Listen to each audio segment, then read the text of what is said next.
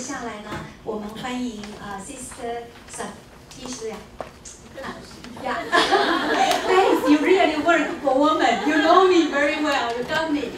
啊，他啊，他呢，我们来期待他分享我们泰国的经验。You really, sister. Thank you, thank you, thank you, thank you very much. Yes, I'm Sister Sutisa. Sutisa. So good morning, everyone. So first of all, I would like to thank Sister Therese and uh, Social Welfare Service here, and also Garden of Hope. Actually, at first, when Sister Therese asked me to decide is there anybody from Thailand that will come to present and to build up this network, helping uh, the victim, violence victims. So I said, okay, sister, I'll find somebody because I, I was not so sure if the person who is working for justice and peace in Thailand will be available. So, but anyway, let me check. And then she came back to me again, Sutisa, why don't you come by yourself? She said. so I said, oh, I have to thank Sister Teresa again to make me come here, really. So, so as a, sister, I, I, I don't think I need to repeat about this. And uh, right now I'm uh, representing Asia Pacific. So as an NGO representative. So in Asia Pacific, like in our congregation, we have 72, 72 countries. And only in Asia Pacific, we are in 70, um, in 20 countries. So this is the web, how we grow as the congregation.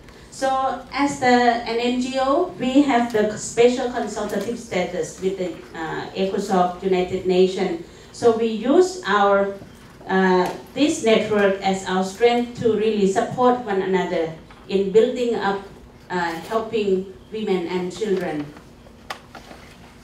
So this is just some something that's uh, within the organization. So I think you have the copies of the of the PowerPoint already. So uh, the issues that we are working with, so our friends has mentioned already.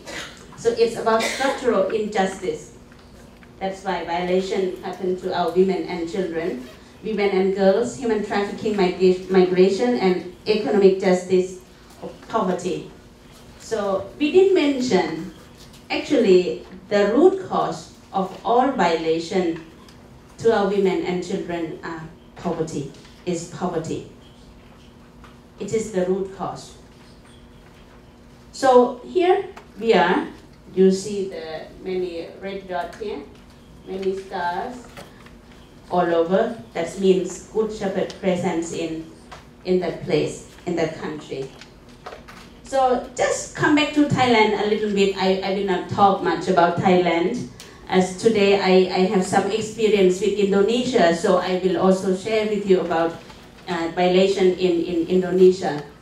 So in Thailand, first we came to Thailand because we were asked by Bishop Conference of Thailand that the Good Shepherd should come to work in Bangkok because so many internal migration migrate from different corner of Thailand to Bangkok and to work.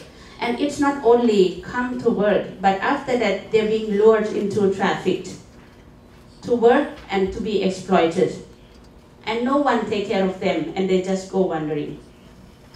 So this form, and then they asked us since the year 19, uh, 1960, but we were not able to be there. So finally, by the year 1965, we were able to come and we have our first house in Bangkok. Sorry. So in Bangkok, in Bangkok. So in the year, uh, in Bangkok, first we respond to the unplanned pregnancy. So the mother who, who pregnant and look for a place to go for abortion. But in our culture, it's really very strongly not accepted. So anyway, Good Shepherd have the first home for mother and baby. And after that, we also have a home for a girl but a girl that we mentioned is from 13 years old after primary school until 20 years old. In those days. But lately, about five years back, the girls in the residence, we find the age is even younger because in society are so broken and so many problems. So these young girls from seven years old left at home alone, no one take care and just locked up inside the room and just another two days people will come, sister, we hear the girls cry, somebody cry inside the room, please come and see. So the Good Shepherd will go and see. Actually, the national law also not really, uh, how to say, not support for uh, helping uh, for those who are young, younger than uh, 18. So you need somebody to really say, okay, you, you can take care of my daughters or my children. But for Good Shepherd, we get special credit in Thailand. So no matter the girl, how young are they, so the government will not look at that. But they look at the sister of the Good Shepherd is really helping people. So they just entrust everything to the Good Shepherds. So that's in, in, in Bangkok, in Bangkok. So we have some other projects for women who stay around the slum. And every day, they just being beaten by their husband. The husband will come and get their money and go out and drink. And then get drunk, come back again, and beat again. It happened like that. So the sister also go out and see where are these women and how to really get them out from that situation by bringing them in in in our center and then give them provide them job and trainings. So we have vocational training center so we send them for different trainings. So we have hairdressing dressmaking foot massage cooking english class and also computer. So that so it depends on them who are interested in what uh, yes activity. And then so after that they just find them their own place.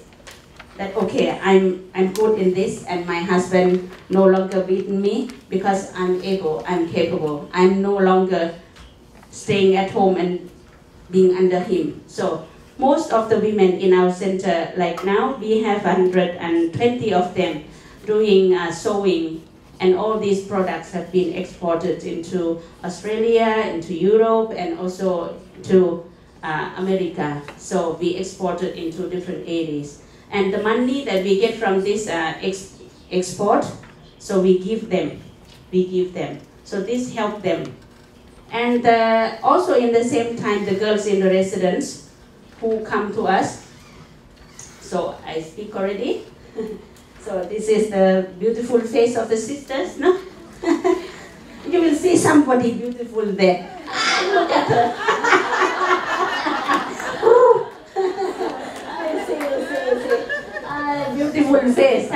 Okay, we enjoy later.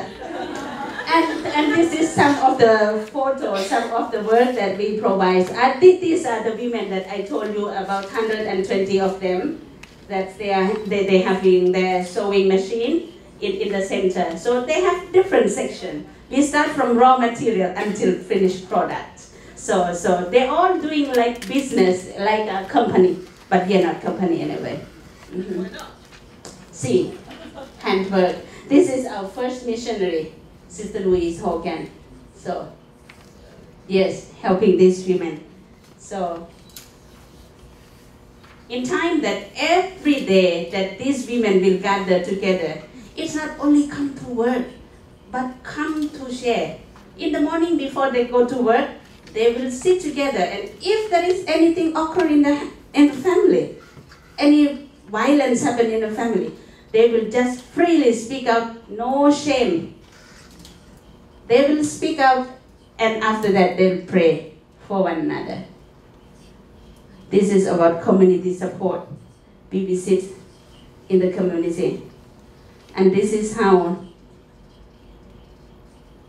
they be together. So this is some some of the very naughty, huh?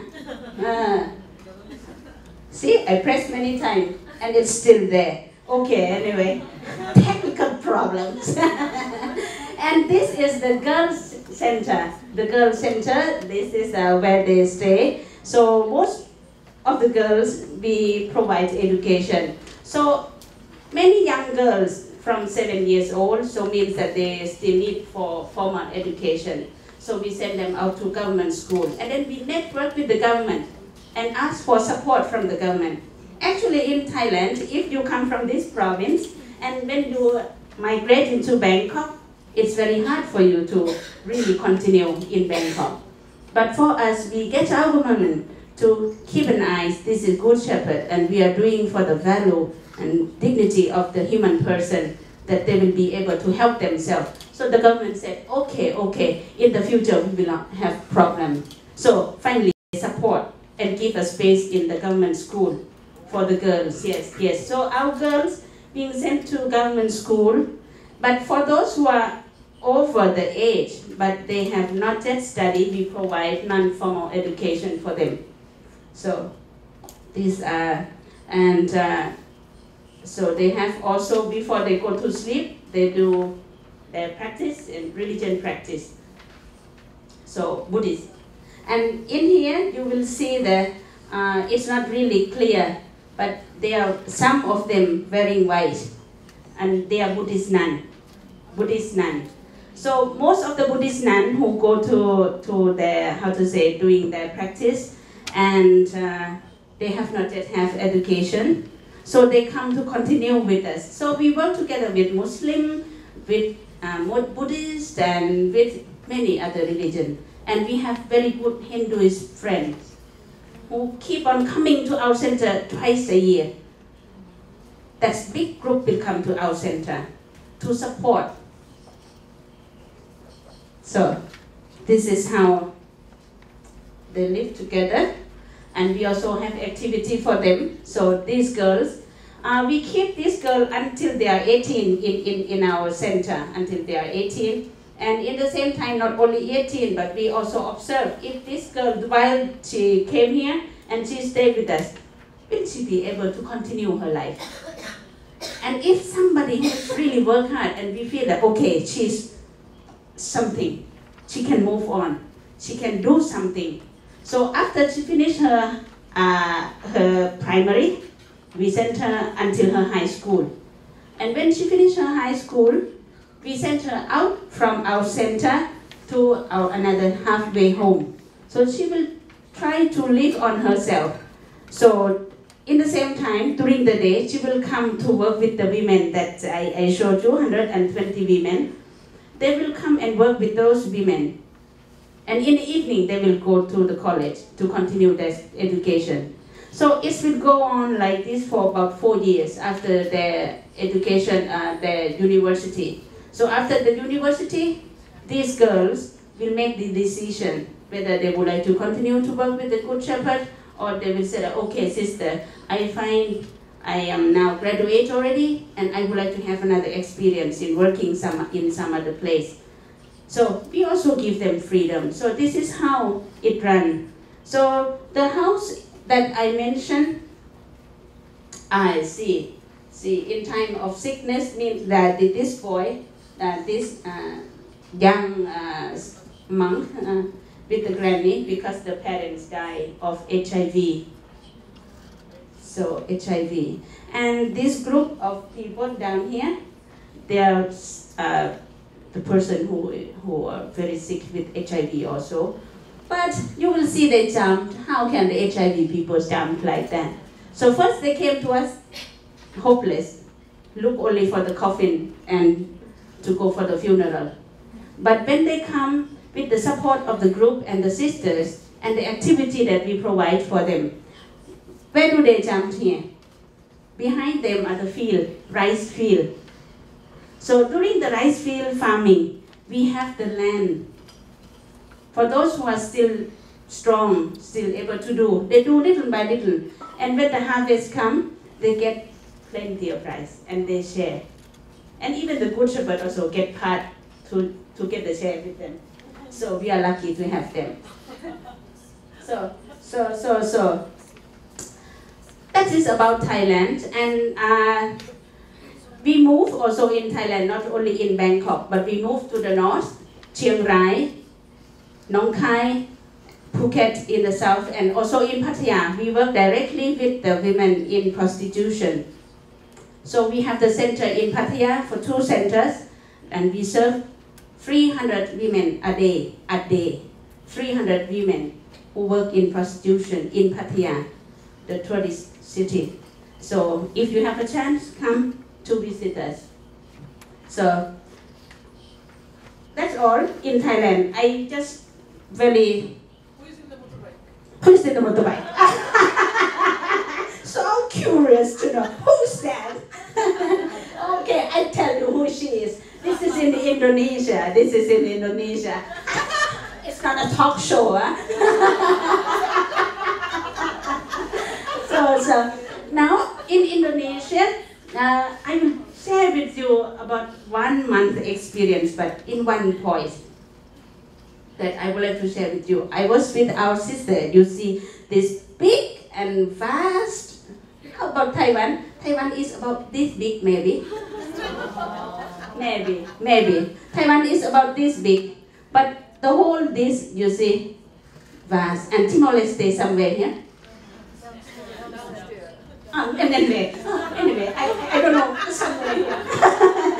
okay. Uh, see, in Indonesia it's very big, and there are 17,508 islands. And about population, don't ask me now. I'm not Indonesian. Okay. When I was with them, when I was with them, when I was with them, here, our sister in Jakarta. So I show only these two. Huh? Um, oh, Sumatra. Anyway, I, I show show some, so somewhere here, Jakarta. Ah, Sumatra? Ah, okay, anyway, okay. Oh, means that you, you don't sleep at all. Okay, okay, okay. Now I can move on. I can move on now. Somewhere around here, you know, I went to visit our sister in 10 communities. So Miss from Malaysia laughed like anything and the bell rang already. Okay, I go fast. Uh, from, from, uh, I, I, what, uh, the two places that touched me most was, uh, here, Kalimantan. Yeah, Flores. No, no, in some place, some, uh, no, Kalimantan, and, and so somewhere is Ruteng. Uh, uh, that, that down below, okay. Down in the island, okay, anyway, I was uh, not really, okay, very good, very good. See, yes, big support, I get big support, anyway. I, I was in, in, uh, in Kalimantan, uh, and I went to Kalimantan, and you see, this is the road, the communication that I went from Jakarta. I have to take about three days to reach to Kalimantan. I would like to tell you just how difficult that the sister will be able to reach out to people. First hand, I would like to get information. I send them email today, and the next two or three days, why no reply? Why no reply? I ask. But when I experienced being with them, I said, aha, okay, I need to send them email about at least three weeks ahead of time. Because they might caught on the way. Because the, the communication is not really great. Electricity is not like here. It's nothing. You know, they get electricity from 6 p.m. until 6 a.m. And sometimes if it's rain, it's gone. Nothing. And if you go to the village, my goodness, I have to land in Ketapang and I have to take about three hours from Ketapang to the river and cross the river with motorbike and then and then after cross the river, yes, have to take another another three hours or four hours from, from the river. And the road is just like this. The road is just like this. And it's not easy at all. And see how people, how people are living in such poverty and suffering. And imagine the young child have to walk to school. No motorbike, no car, no truck, have to walk on foot like this. From the morning, they carry things and then go out to school. And on the way back, the girls, most of the girls being kidnapped. Because on the way back, it's late and the parents are not there. Kidnapped. And most of the time, see, you do see this one. I took from upper and it took about 20, uh, 20 meters or uh, 20, no, no, 20 meters. But took two hours to get away from this mud, to get away from this mud. So how difficult it is. And in this village, why we call widow and orphan village? Because all the men has been in Malaysia, in Sarawak, to work. For four years, five years, no information. And the child who's born already, growing with my father. 50 of them in that village. And our sister has to take four hours out and four hours in. And we have not that great vehicle to go. This one not belong to the Good Shepherd. We asked, Father, I am from Thailand. I would like to visit my people. Please bring me the SVD. Okay, sister, I bring you. So the SVD father took us here, and then we stuck here about two hours in the mud. And nobody will come to help us because it's very remote and far from one another. So I just share with you how things really very difficult in life where people really have to experience. I believe in many other places also the same, but this is some, this is some. So if you have more question, ask me here and then I will answer. If not, outside. If not, you see my name cards and then should you get in touch with me through the website, to my email, or if you have enough money, take the phone. Hello, Sutisa. Okay, thank you very much.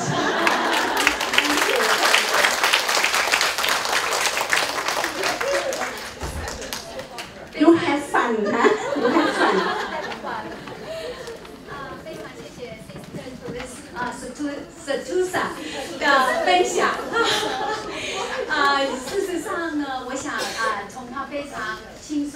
快，却分享非常宏观，在泰国跟印度啊、印尼的这些呃工作状况，让我们深刻感受到呢。